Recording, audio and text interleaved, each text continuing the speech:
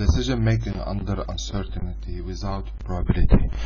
Saying if we want to today under our control, if we want to take a decision between to manufacture a product to buy local as domestic or to buy it from abroad as imported.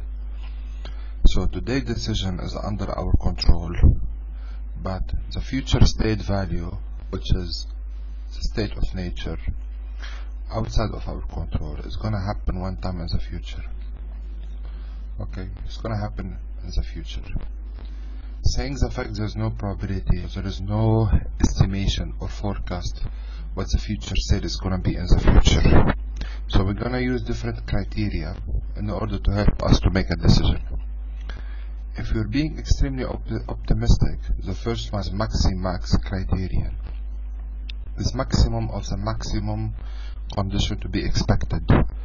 The maximum or the best condition, or we're being very optimistic, is high sales. Okay, and so in a way, today we're going to decide, and we're being very optimistic that the sale is going to be extremely high. So the maximum value is 55, and the value using will be to manufacture okay using the maximax. The maximum so this one is the maximax. The maximum uh, today decision is under our control. We're being extremely pessimistic so we expect the state of nature which is outside of our control it's going to happen in the future to be extremely pessimistic. So the sale is going to be extremely low. So the best condition the maximum out of the worst it might happen is 10 so the solution is to buy abroad.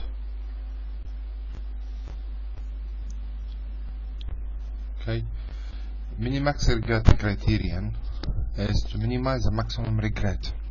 Let's see how it works okay so I'm gonna show you those two tables. Which I've already did them. Saying if today we decide to buy abroad and after a certain period of time the sales turn out to be low. But we already decided to buy abroad. So the payoff is ten dollar or ten thousand dollars. So we have no regret like because we already did the best decision but however if we did decide to manufacture today and the sales turn out to be low after a period of time. So we always have a regret like saying what if we we did choose to buy abroad? So the regret here instead of losing minus 15 of losing 15 we could have made 10,000 so regret is 25 and as I said if we decide to buy abroad and the sale turn out to be low so this is the first best decision so regret is zero. And the same applies here. So if we decide to buy domestic and the sale turn out to be low we could always say oh we wish we did buy from abroad. So the regret is 5 and it's the same way we did medium and the high. For every decision we calculate the maximum regret. So here is 25 we put it here. Here is 30 we, we put the value here. And here is 10 we put the value here. Okay? So we have 25 30 and 10 as a maximum regret.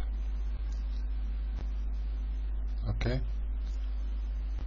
Uh, so oh excuse me. So here is 55 minus 14 is 40 is 15 as a maximum regret. So for every decision and we want to minimize regret criterion to minimize the regret to minimize the maximum regret. So the best the minimum out of the maximum regret is to buy domestic.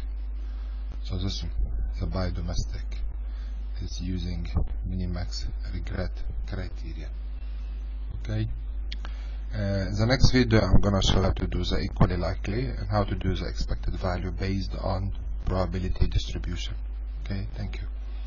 And the videos the next video link are available in the box below